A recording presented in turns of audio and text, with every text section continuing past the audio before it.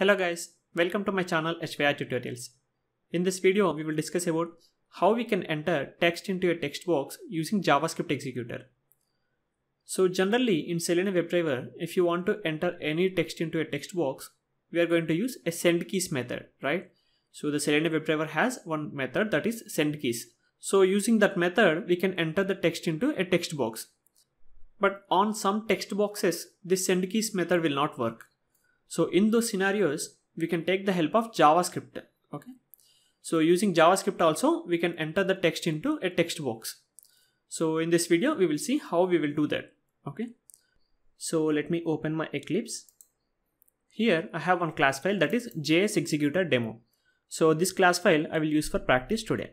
So here I have added the code to launch the Chrome browser and it will navigate to Facebook login page. So after this we will perform the JavaScript operations. So generally if you want to enter any text into a text box in Selenium WebDriver we write this command right driver.find element then send keys. So using this send keys method we will perform the operations right. So before the send keys we will find out the element so if you have the element, then only you can perform the operations. I mean, anything like entering the text or click operation, any operation. So the first thing is we need to find out the element. So the same concept will be in, applicable in the JavaScript also. But we have another option. So in the Selenium WebDriver, we find the element also in the Selenium WebDriver and we perform the send keys operation also from Selenium WebDriver itself. But in the JavaScript, we have two options. One is finding the element in the JavaScript itself and entering the text also in the JavaScript itself. Okay. So you will perform complete operation in the JavaScript only. You will find the element and enter the text in the JavaScript only. And the second option is you can find the element from WebDriver and enter the text using JavaScript. Like this, you can write this statement to find out the element and once you find that element, you can use that element and use the JavaScript to enter the text. So first let's see how we can actually find the element and enter the text in the JavaScript. Then we will see the second one. Okay. So let me open the Chrome. So here I have Facebook login page. Okay. So I'll just press F12. So I want to enter the text into this email text box. Okay. So let me first inspect this. So this email text box has one ID that is email. Okay. So in Selenium, for example, if you want to find out any element, we have many locators, right? By using ID, name, class name, like that we can find out. We have around 8 locators, right? So in the JavaScript also, for example, if you want to find out any element, we have some methods, okay? So here, if you want to test the JavaScript inside browser itself, just click on the console. In the developer tools, you can go to the console and here you can start writing the JavaScript code, okay? So first let me clear this. So in Selenium WebDriver, if you want to find out any element, you will use find element method, right? And that too you will use on top of driver instance. Here we don't have any driver, okay? So all we are dealing with HTML DOM. So here the DOM is called as document, okay? So document dot get element. So when you type get element, you will see all the methods applicable, okay? So we have around five methods get elements by name, get element by ID, get element by class name, get element by tag name, get element by tag name namespace. Okay. So here only one method get element by ID. This is the only method which can retrieve you one single element. Okay. You can see get element by ID and the remaining things get elements by name, get elements by class name, get elements by tag name. So these all are returning list of elements. Okay. So luckily here we have a single ID, right? So we have the unique ID. So that is the reason we can use get element by ID method. Okay. So for example, if you don't have the ID, in that case only you have name or some class or something. Okay. So in that case, how you will do? You can write an XPath or you can take this method get elements by name or get elements by class name and from that element you can use the index and get the value okay so now i will show you how to do that also first let me use the get element by name by id so here inside this i will pass the id the id is email right so let me just put the semicolon. So when you press enter so here you can see. It is returning me the element right? So we found the element and when you focus on this it is highlighting in the web page here. So that means we are able to identify and here it is returning only one element. So now I'll just use the get element by name okay? So for that first I need to know the name. So the name also email only okay? So document dot get elements by name okay? So this will be same. This concept will be same for all the remaining things also. Whatever is having get elements the same concept okay? Get elements by name and here I will pass the name okay? So when you press enter it will retrieve you node list. That means a list of web elements okay? So when you expand this you can see. We have only one element inside this node list. So you can use the index to get the first element from this node list. Okay?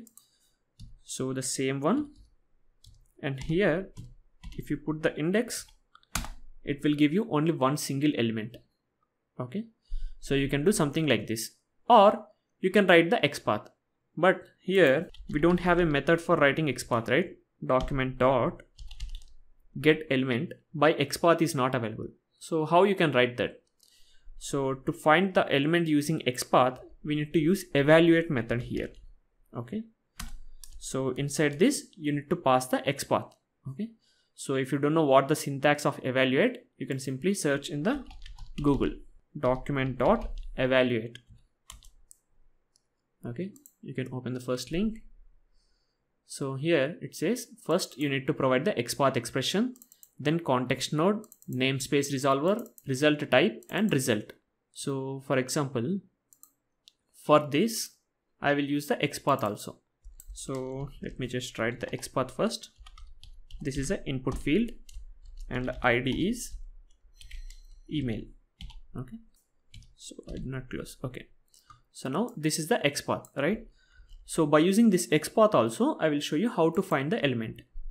So here the first thing is we need to pass the XPath expression. Okay?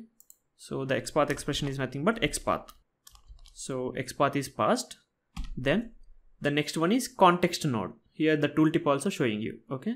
The context node is from where you want to actually find out this one. So here we want to find the element in the entire document right? So i will pass document. Then if you want to pass any resolver any namespace resolver you can pass that okay? So generally for finding any element you don't need to pass any resolver. So you can just give null then type. So you need to pass the result type. So here if you see anything it will be like this. Xpath result dot any type or something like this okay? So result types are this many available okay?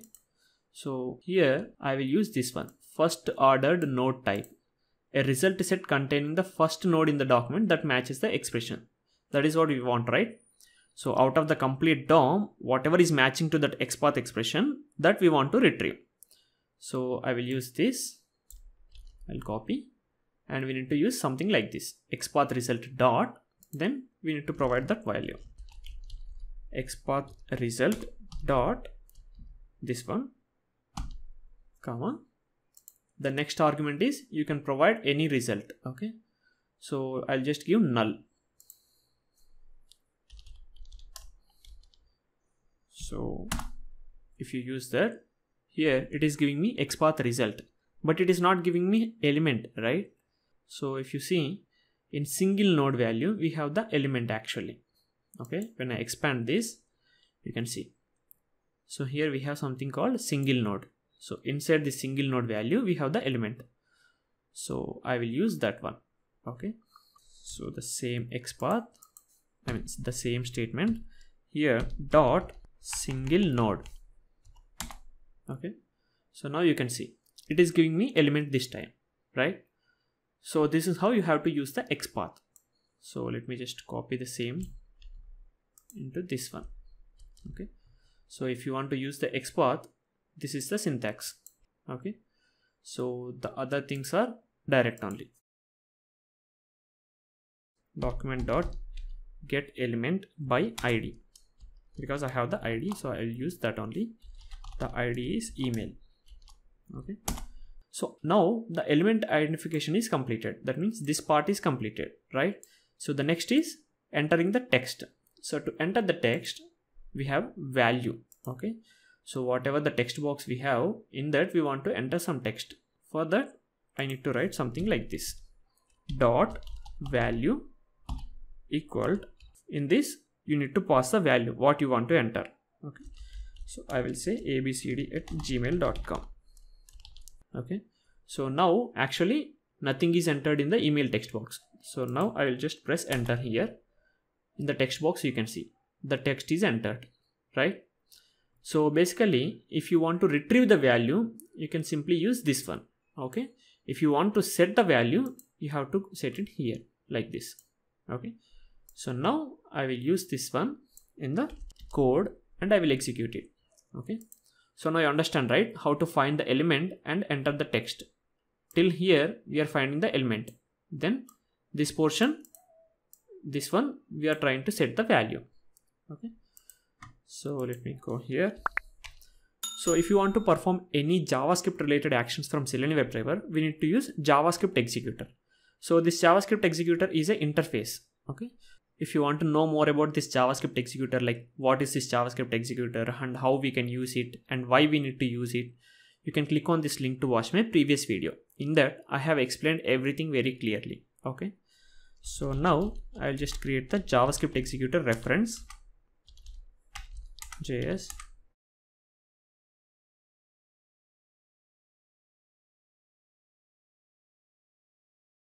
in that I will use the execute script method. Okay. So here I need to pass the script. So when I copy paste it will give me like this. So you can remove that. Okay. And you can put a single quotes here because we already in the double quotes right? So it is not accepting the double quotes. And you can remove the semicolon also. That is not mandatory. So here you no need to pass any arguments. This statement doesn't require any argument right? So you can just remove these arguments.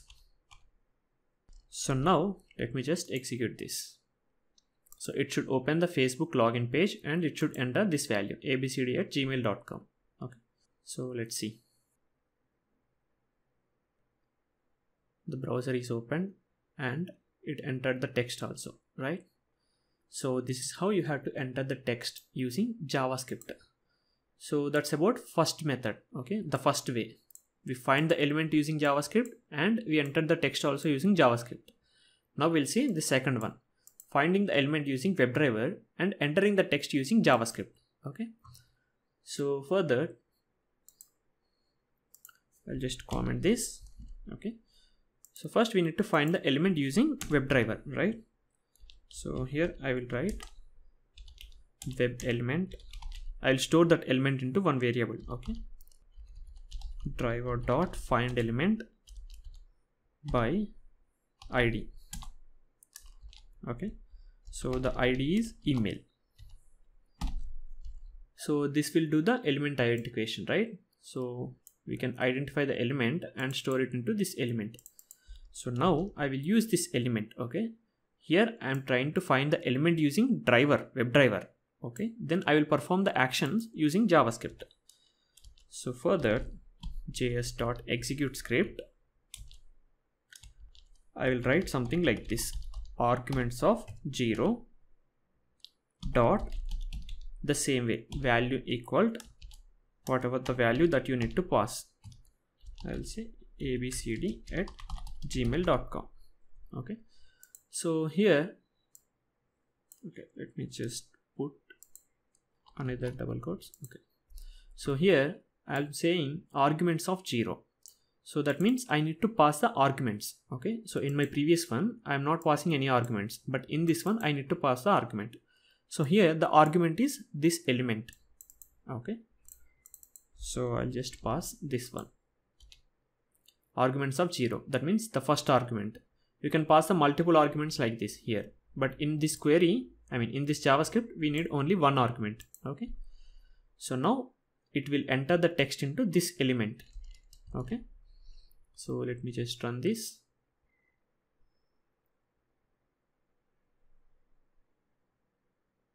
Chrome browser is opened. You can see the text is entered. Okay? So let me just close this. Okay so now we entered the text but how we will get the text? Okay. So we have entered the text into this text box and now we want to print this text in the console. Okay. Let me just comment this. So further i will write js dot execute script. So here let me just copy the complete code. Okay. Till here. As i said if you want to retrieve the value you need to use only till value. Okay and no need of arguments. Just close this one. So here we are retrieving the value right? So i will say return. Okay if you are retrieving any value you can say return. So basically this execute script will return you object. In the dom i mean document object model so this one we call it as dom right? Document object model. So here every element will be treated as an object. We are saying document object model right so every element is an object. So even though it is returning you this element i mean this text that will be in the form of object only. Okay? So that you need to convert again into string. String. I will say text. So here i will do the casting. Okay? So now i will print this text in the console. After printing I will just quit the browser. So here to print the text basically we need to enter the text right? So I will use this one. Okay. So now let me run this.